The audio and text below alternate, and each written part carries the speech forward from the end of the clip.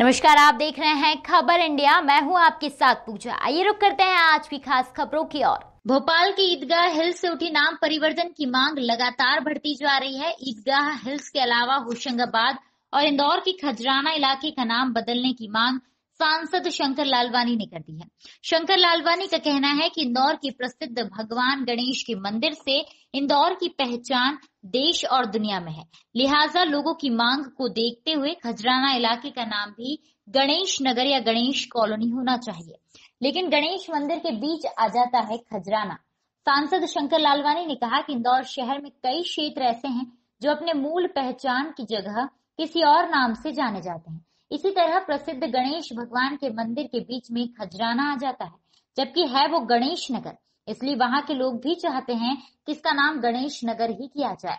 पुराने इतिहासकारों के अनुसार होलकर वंशजों ने इस इलाके में स्थित एक कुएँ में अपना खजाना छुपाकर रखा था, जिसके चलते धीरे धीरे खजाना से खजराना नाम पड़ गया। हालाँकि कुछ इतिहासकारों का ये भी मानना है कि यहाँ स्थित खजराना दरगाह से इलाके का नाम खजराना पड़ा। हालाँकि इतिहासकारों के इन दावों में कितनी सच्चाई है ये कहना मुश्किल है। आपको क्या लगता है खजराना देखिए नाम जहाँ जहाँ बदलने की बात चल रही है वहाँ नामों का जो मूल नाम थे वो बदले गए हैं।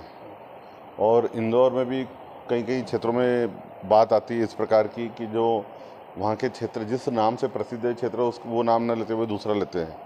अब हमारे यहाँ पूरे देश का सुप्रसिद्ध गणेश मंदिर है। और हम खजराना गणेश मंदिर बोलते हैं। पर वो खजराना बीच में आ जाता है लेकिन है तो वो गणेश नगर। और वहाँ के लोग भी हमेशा आते हैं कि इसका नाम गणेश कॉलोनी किया जाए गणेश नगर किया जाए। अब खजराना के साथ गणेश कैसे जुड़ा है ये लोग वहाँ बोलते रहते हैं।